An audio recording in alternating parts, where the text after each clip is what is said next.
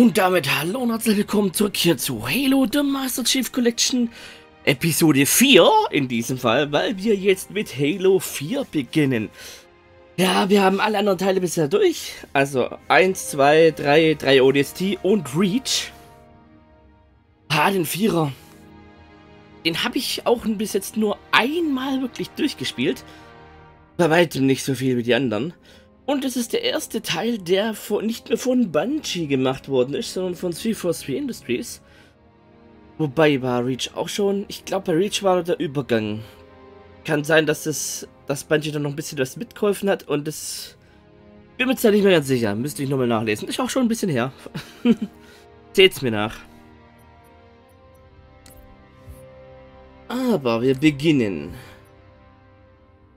Zuletzt sind wir ja ähm, bei der Forward Until Dawn, hieß glaub das Schiff, das wir mit dem Arbiter äh, bestiegen haben, um von der Arche wegzukommen. Oder eher gesagt, den, den neu gebauten Halo 4 oder den Halo Installation 04, den wir ja gezündet haben und der dabei drauf ging. Dann hat sich ja das Gate geschlossen und wir blieben zurück. Und wir treiben immer noch in dem All durch die Gegend mit Cortana. Und hier setzt dann Halo 4 ein. So, alles lassen wir so. Gucken mal die Schädel. Also erstmal Grand Geburtstagsparty, die muss ja stattfinden. Die ist undiskutabel. Nee. Kampfdialoge. Nee, nee.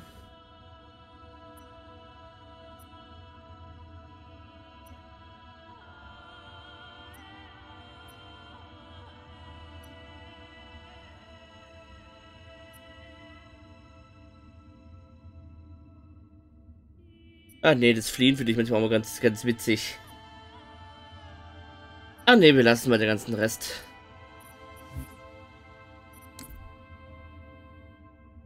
Ah, ich bin schon gespannt. Halo 4 mal wieder anzupacken. Jetzt beginnt ja quasi die Forerunner-Geschichte mit dem Didaktiker. Kleiner Spoiler. ich, ich glaube, das erste Mal, dass ich das Spiel jetzt anpacke, nachdem ich die Forerunner-Trilogie gelesen habe. Bin ich gespannt, ob, ob ich da noch ein bisschen was äh, aus dem Gedächtnis zaubere.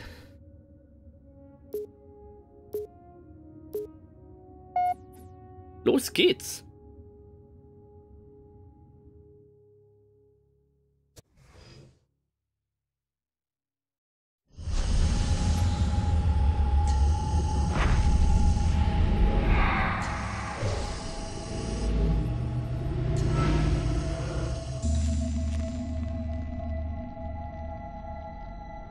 Sie mir von den Kindern.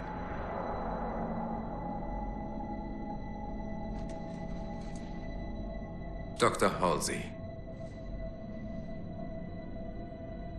Sie wissen doch bereits alles.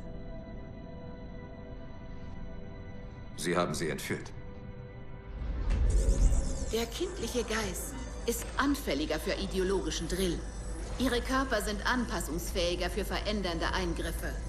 Das Resultat? War der ultimative Soldat. Und gerade durch unsere Erfolge waren wir bereit, als die Allianz uns überfiel. Doktor, Sie wissen, dass Sie die Geschichte zu Ihrem Vorteil verdrehen. Sie entwickelten die Spartans, um menschliche Aufstände niederzuschlagen, nicht die Allianz. Als eine menschliche Welt nach der anderen fiel, als meine Spartans das einzige waren, das zwischen der Menschheit und ihrer Auslöschung stand. Da interessierte es niemanden, wofür sie ursprünglich geschaffen worden waren. Sie denken, dass Ihre Entscheidung letztendlich berechtigt war? Mein Wirken hat die Menschheit gerettet. Glauben Sie, dass Ihre fehlende Menschlichkeit den Spartans geholfen hat? Worauf wollen Sie hinaus? Die anderen vor Ihnen waren vom MND, aber Sie? Sie sind anders. Die Akten belegen, dass Spartans oft leicht soziopathische Züge zeigten. Schwierigkeiten mit der Sozialisierung und dem Sprach. Die Akten belegen effiziente Verhaltensweisen beim Einsatz in Gefahrensituationen. Ich habe die Werkzeuge für diese Effektivität zur Verfügung gestellt. Aber glauben Sie, dass der Master Chief deshalb Erfolg hatte, weil er tief in seinem Inneren zerrüttet war? Was hat John damit zu tun? Sie wollen ihn ersetzen. Der Master Chief ist tot. Den Akten zufolge wird er vermisst. Catherine. Spartans sterben nie. Ihr Fehler ist es, Spartans als Militärgerät anzusehen. Meine Spartans sind die nächste Stufe der Menschheit, die Zukunft unserer Spezies. Unterschätzen Sie sie nicht. Vor allem aber unterschätzen Sie ihn nicht.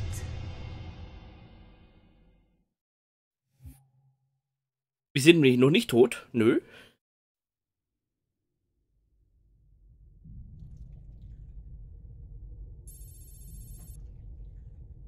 Vier Jahre später.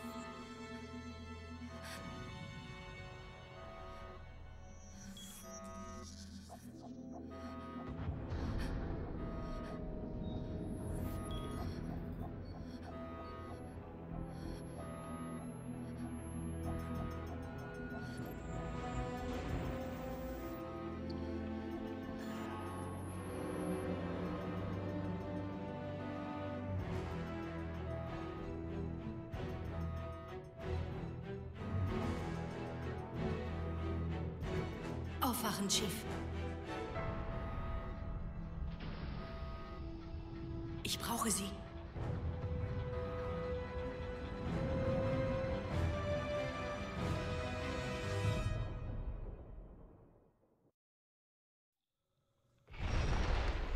Und würde ich mal sagen, guten Morgen.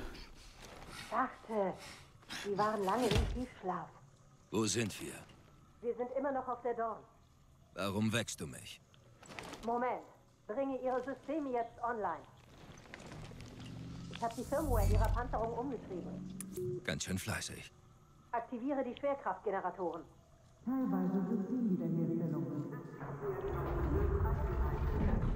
Chief, sehen Sie hoch. Betätigen Sie die manuelle Öffnung. Äh, ach, gedrückt halten.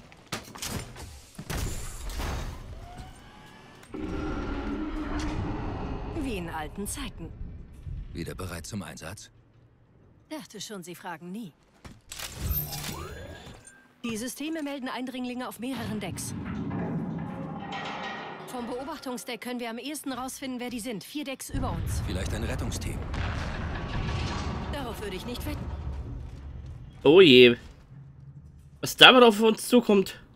Und ich muss sagen, diese Cortana, also, es gab ja jetzt quasi in jedem Teil eine neue optische Variante von ihr. Diese finde ich am hübschesten, muss ich alles sagen. Also die gefällt mir am meisten. Bisher. Ah. Dies ist die Dienstakte von Spartan John 117. Wollen Sie fortfahren? Pillar of Autumn entdeckt Blutsväter Halo Installation 04 und setzt Spartan 117 zum Schutz von UNSC KI Cortana ein. Der Chief enttarnt den Plan der Allianz zum Abfeuern der Waffe und opfert die Autumn, um den Halo-Ring zu zerstören. Ha! Wusste ich doch, dass hier unten noch was war. Spartan 117 verfolgt das Allianz-Flaggschiff nach einem Angriff auf die Erde, erreicht die Halo-Installation 05 und findet sich mitten in einem Bürgerkrieg der Allianz wieder. 117 verhindert die Zündung des Rings und folgt der Allianz zurück zur Erde, auf der Suche nach einer Blutsväter-Einrichtung, die alle Halos der Galaxie aktivieren kann. Die Allianz erreicht die Erde und öffnet ein Portal zur Arche, einer außergalaktischen Blutsväter-Installation, die die Halos abfeuern kann. Spartan 117 verfolgt die Allianz mit einem kombinierten Allianz-UNSC-Team zur Arche, zerstört diese und verhindert so die Zündung der Ringe. Als Spartan 117 versucht, an Bord der UNSC Forward unto Dawn von der Arche zu entkommen, zerfällt das Hyperraumportal, welches das Schiff gerade passiert. Im hinteren Teil der Dawn begibt sich Spartan 117 in den Kryoschlaf und wartet auf Rettung durch UNSC-Kräfte. KI Cortana bleibt aktiviert, solange es technisch möglich ist. Ende der Eintragung. Ja, haben wir jetzt ja gesehen. Äh, Ich weiß jetzt, ich glaube, ich habe diese Art von Terminals, die gibt es wieder mal auch in jedem Level. Die habe ich damals aber, glaube ich, nicht überall gefunden. Ich habe es auch nur einmal durchgespielt. Und aktiv suchen werde ich sie jetzt auch nicht, außer mein Spürsinn tingelt und ich denke, oh, da könnte was sein. Ähm, bei dem hier hatte ich es nicht mehr aktiv gewusst, aber ich hatte so das Gefühl, hier beim Entlanglaufen, hier unten könnte doch was sein. Also einfach, wenn man hier so entlang läuft. Ja, da ist Orange, da muss ich hin. Oh, aber hier gibt es eine Treppe. Erstmal die Treppe. Der typische Erkundungsdrang.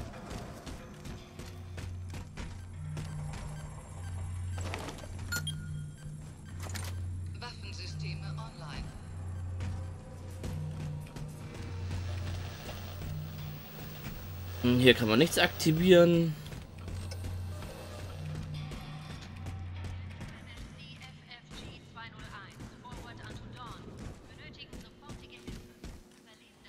Hm? Ein bisschen kalt hier. Hier liegt Schnee. Wie lange war ich weg? Vier Jahre, sieben Monate, zehn Tage. Jemand hätte uns inzwischen finden müssen. Hätte, hätte, Fahrradkette. Der Sprinten geht hier nicht mehr. Au. Hohe Intensität, stimmt mit keinem bekannten Muster überein. Wie weit noch bis zum Beobachtungsdeck? Es ist direkt über uns. Hm. Hier ist nichts.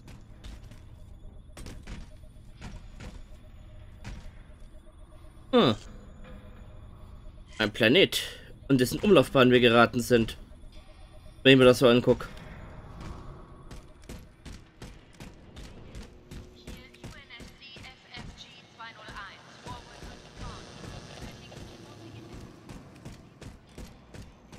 Fahrstuhltüren sind verschlossen. FFG 201, Forward unto Dawn.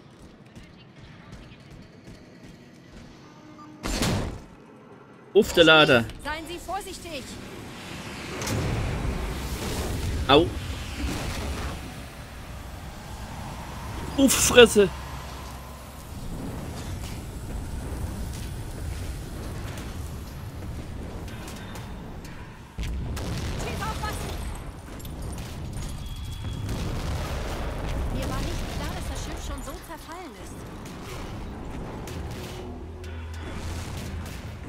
Hoch da.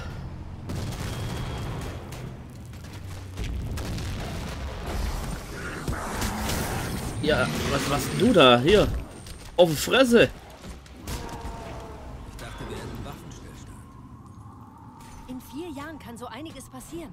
Allein war der sicher nicht. Seien wir vorsichtig.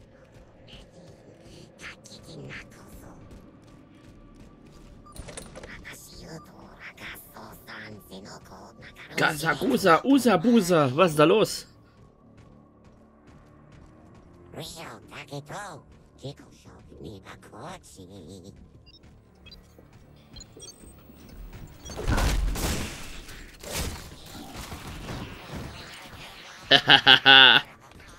das war doch mal zufriedenstellend.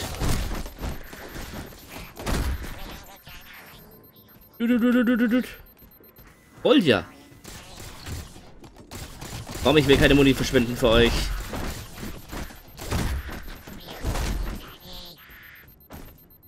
Muni nur wenn nötig. Oder wenn ich eine bessere Waffe habe als die hier. letzte. Überbrücken Sie die Schutzschilde, damit wir sehen, womit wir es zu tun haben. Hm. Ja, Moment. Erstmal umsehen.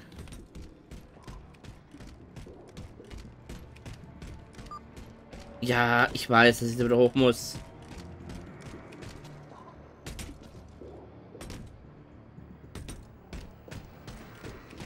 Granaten habe ich wohl, ja. Laserpistolen möchte ich nicht. Oh.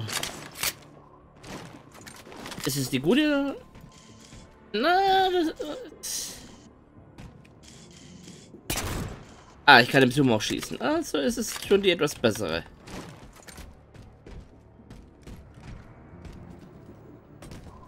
Was hattest du denn für eine Waffe, Kollege? Ah, Karabiner.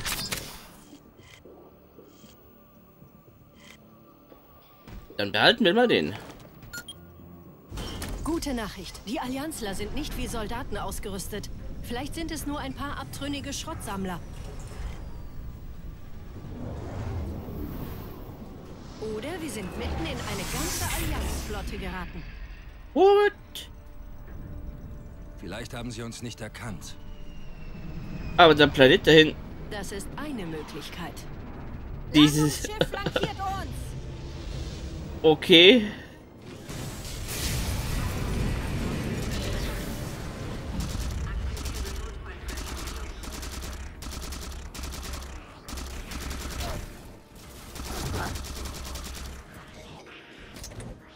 Ihr nehmt mal. Dann nehme ich doch lieber das. Besser ist das.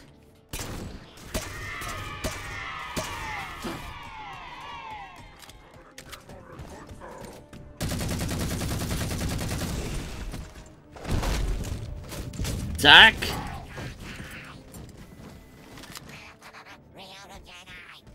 We are the Jedi? Was? Was laberst du? Wir müssen von diesem Schiff. Wir haben größere Probleme. Ein Kreuzer ist auf Abfangkurs. Gehen Sie zu den Aufzügen. Sind die Waffensysteme laut Schiffssensoren nicht weiterhin online? Ja, aber die Waffenstationen sind unerreichbar, seit das Schiff auseinandergerissen wurde. Wir müssen sie manuell von der Außenhülle abfeuern.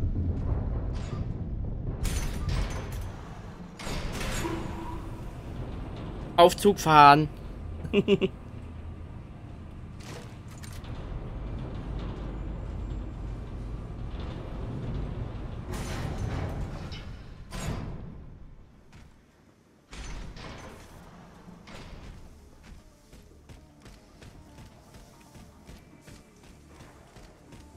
So, wo kommen wir denn hier hin?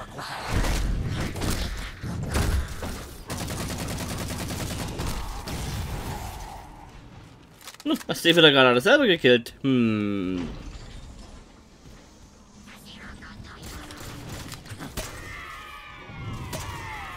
Plupp, plupp.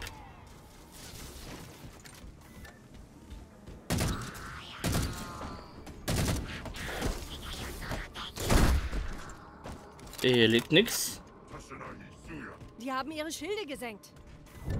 Falls sie die nicht hochfahren, wird die Rakete eine echte Überraschung für sie sein. Hm. Gut für uns. Okay.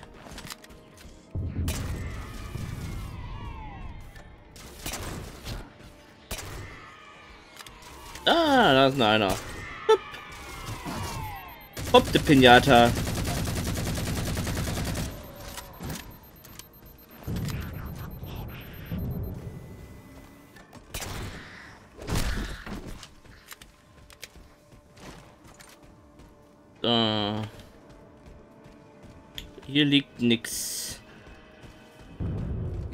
Diese Allianztruppen scheinen noch fanatischer als früher zu sein. Oh, religiöse Fanatiker? Kennen wir doch irgendwer.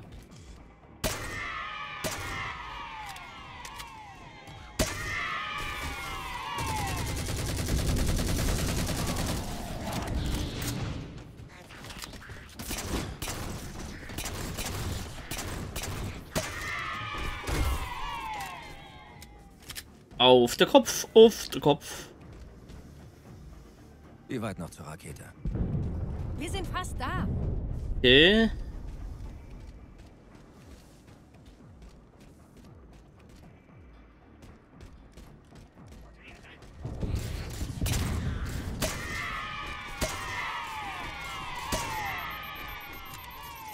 Hup, hup, hup.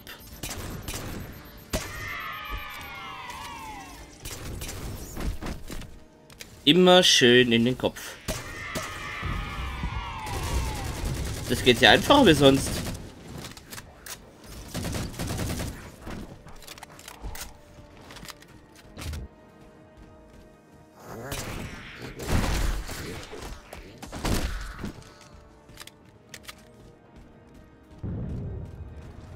So. Haben wir nicht mehr so viel Schuss.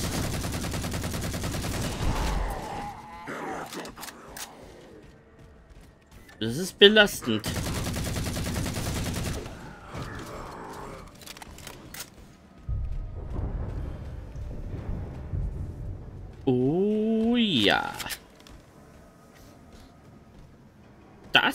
Doch gut.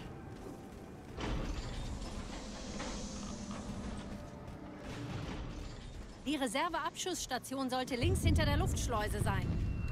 Sie müssen den Raketenstart einleiten. Cortana, Ach, nichts, erreichen Sie einfach die Abschussstation. Das hat sie nicht so gut gehört, Cortana. Die vier Jahre sind anscheinend auch nicht ganz spurlos an dir vorbeigegangen. Okay, jetzt nix.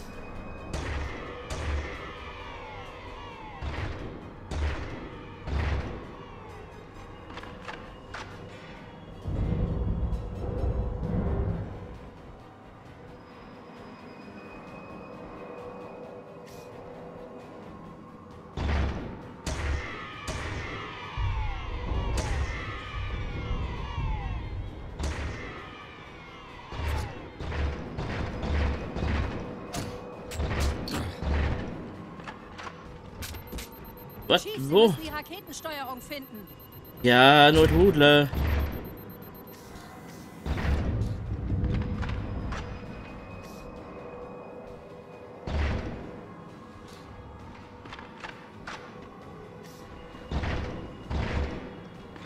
Irgendwie ist das hier einfacher wie in Reach.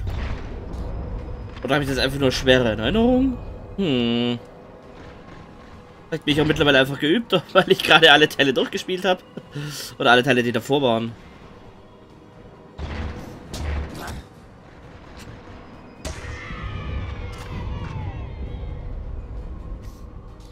Wo war denn der? Da. Der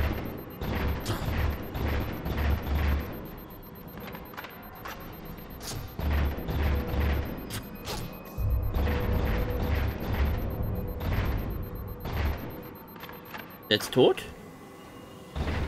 Ja, sieht so aus. Aber ich habe langsam keine Muni mehr. Belastend. Ähm.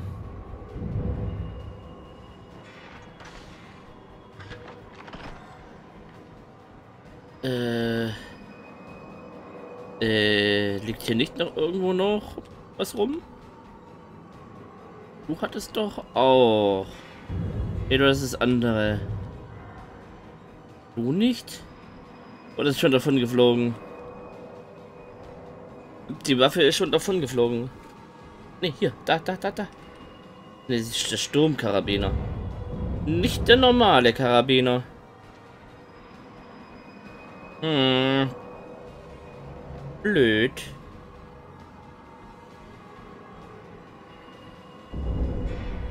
Blöd, blöd, blöd, blöd, blöd. Oder hier? Ah, da war Moni. Aus dem Weg. Ah, hier war auch noch. Ja, klar. Hier, direkt neben dem Ziel, da liegt er. Hm. War ja klar.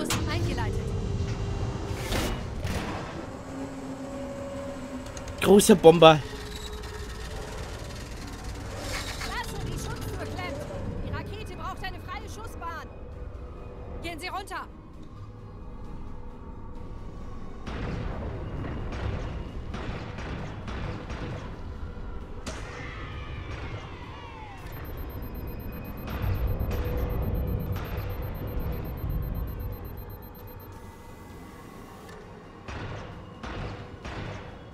Den Fahndung ist immer ein bisschen schwierig.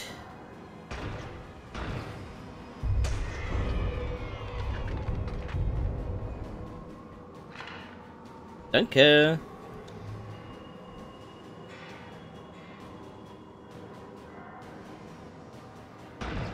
Ha.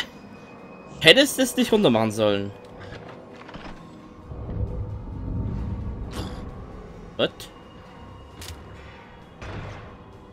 Ich habe ich übersehen.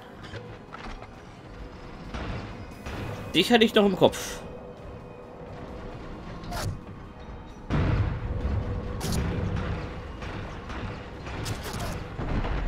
Oh, fuck.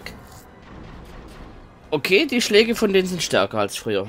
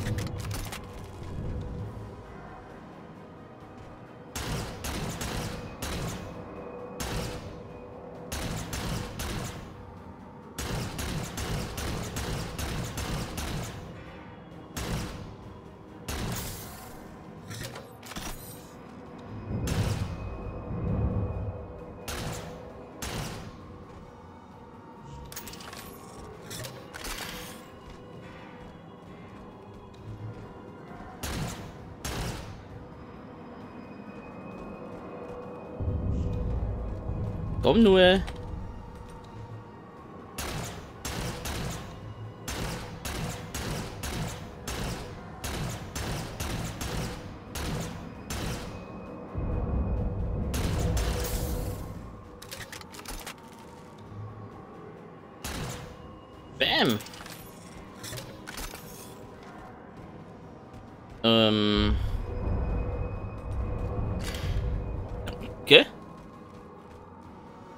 Aber du musst trotzdem noch einer rumfahren.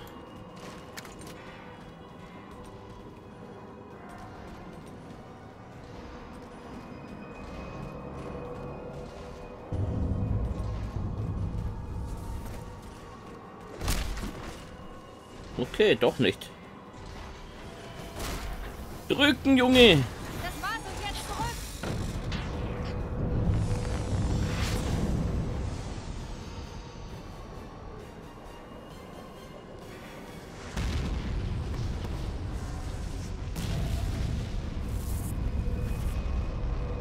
Da hat Bumm gemacht.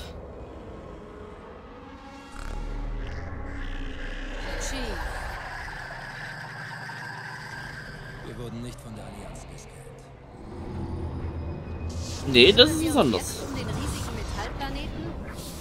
Ja klar. the Wir hell? werden von einem Gravitationstrichter in den Planeten gezogen. Beeilen wir uns. Sobald wir den Ereignishorizont überschreiten, zerreißt uns die Atmosphäre.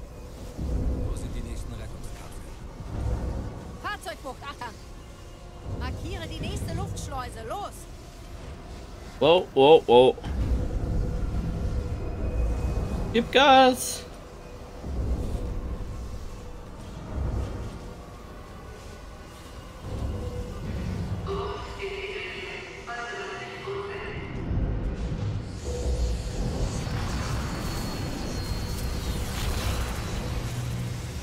Fünfte Lade.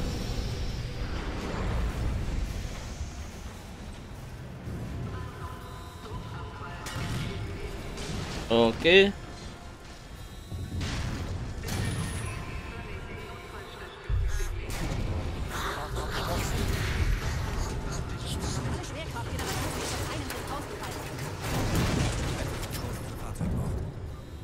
Nehme ich das noch mit.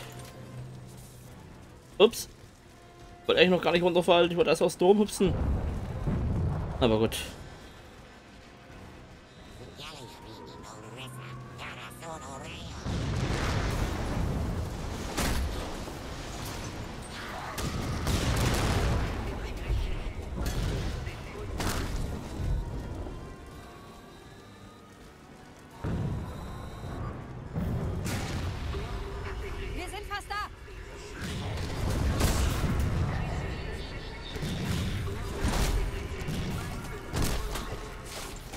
Oh, für den gibt es auch eine Animation.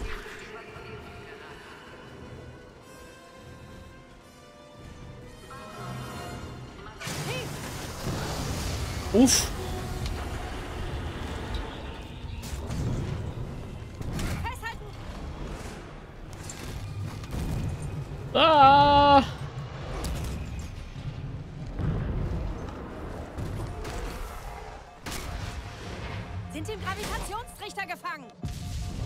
Du die Rettungskapsel? Negativ. Achtung.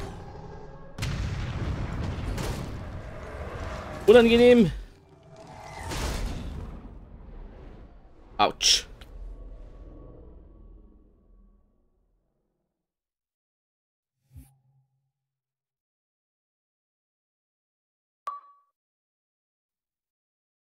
Kann ich pausieren? Ich kann pausieren. Denn an dieser Stelle sage ich dann Danke fürs Zusehen und ich hoffe, es hat euch gefallen. Wenn ihr ja, like und subscribe und die Welt verteilen und wenn ihr es noch nicht schon jetzt getan habt, die Notification Bell aktivieren, dass YouTube weiß, dass ihr mehr von uns sehen wollt.